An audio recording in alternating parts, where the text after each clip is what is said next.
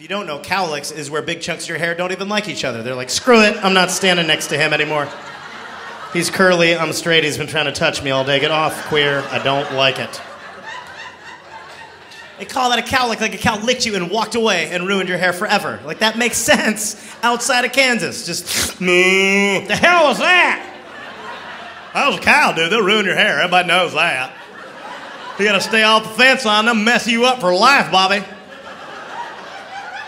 That's why farmers always have jacked up hairdos from the milking. Ah, shit, Bessie! How am I supposed to go to the hoedown now?